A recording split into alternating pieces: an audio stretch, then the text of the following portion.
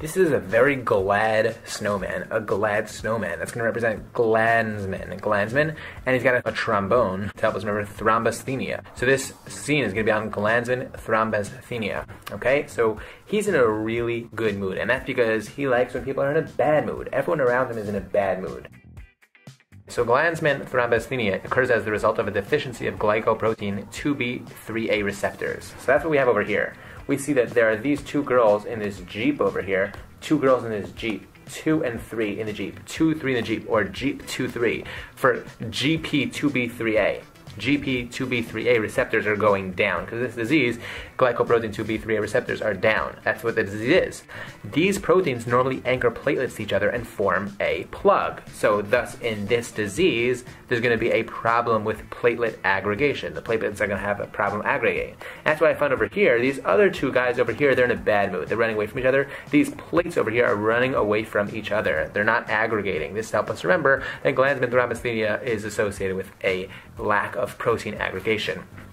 They have bruises on their hands over here and their legs to help us remember the easy bruising associated with the disease, so mucous membrane bleeding.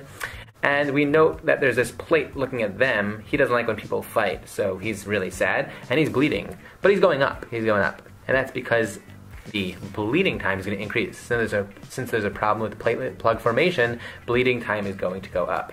Now, who is this guy over here? Who's this guy over here that's sad? He said that the girls going away from him. He doesn't like when girls run away from him. They're trying to avoid him. They're trying to avoid the N sad. He's actually an N guy, and he's sad. The N guy is sad for NSAD. So the point is that people with Glanzmann thrombasthenia should avoid N that are sad, or NSAIDs, because since the NSAIDs inhibit cyclooxygenases, and, and cyclooxygenases produce thromboxane A2, that's a protein which promotes platelet plug formation. So we want, so do we, you don't want to take NSAIDs because NSAIDs will therefore lead to decreased plug formation. Okay, so people with Glanzmann thrombasthenia who also who already have a problem with their platelet plug formation should not take NSAIDs. All right, they should avoid them. All right, that's our scene on Glanzmann thrombocythemia. I hope you enjoyed. Leave your comments, subscribe to the channel. Take care.